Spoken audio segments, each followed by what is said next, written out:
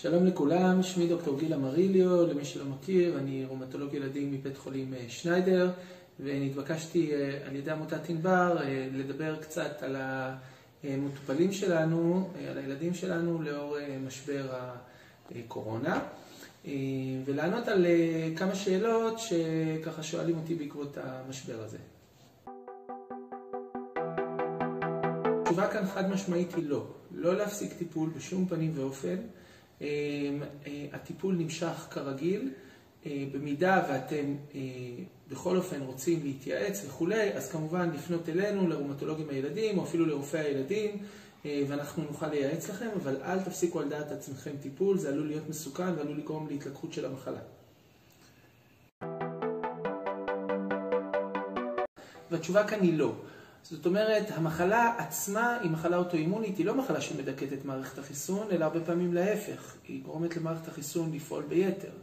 ולכן לא צריך לחשוש מזה שהמחלה עצמה עלולה להעמיד את הילד או הילדה בסיכון יתר.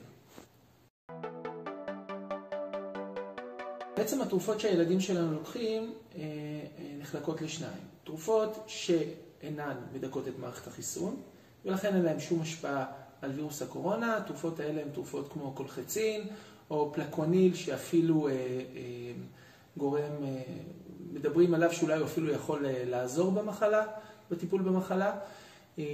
ומילה אחת מיוחדת לגבי איבופרופן, איבופרופן אנחנו מכירים את זה או בתור נורופן או בתור אדוויל או בתור אייבו. התרופות האלה, אלה תרופות ש...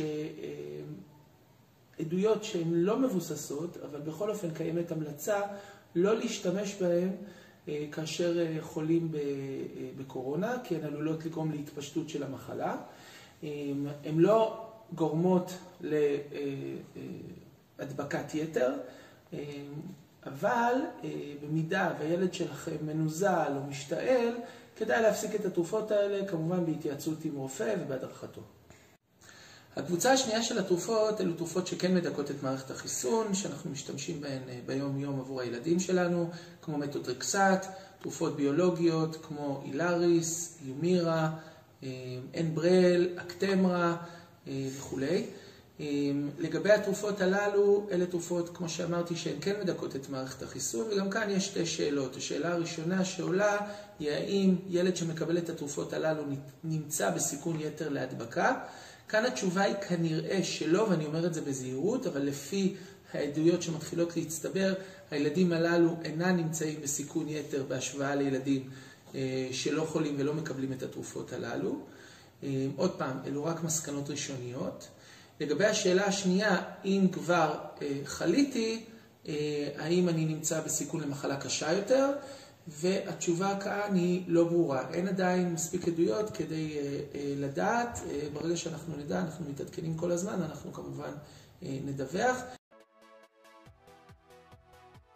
אז קודם כל לגבי הימנעות מהדבקה, חשוב לעקוב אחרי ההוראות של משרד הבריאות, שתקפות קל וחומר לילדים שלנו, זאת אומרת מניעה מהתקהלויות, להימנע מלהיפגש עם חברים, מניעה במגע עם אנשים חולים גם עם בני בית, להרבות לשטוף ידיים ולשמור באופן כללי על היגיינה. במידה ומופיעים תסמינים כגון חום, שיעול וכולי, אז כמובן יש להפסיק את הטיפול התרופתי כמו שבדרך כלל אנחנו עושים, ולפנות לרופא. זהו, אני מקווה מאוד שנעבור את התקופה הזאת ביחד בשלום. תזכרו שאנחנו תמיד, הצוותים הרפואיים תמיד כאן לשירותכם, תמיד אפשר להתקשר, אנחנו מגיעים כל יום לעבודה, תמיד אפשר להתקשר ולשאול ולהתייעץ, אנחנו פה בשבילכם, ונקווה שנעבור את התקופה הזאת מהר ובשלום.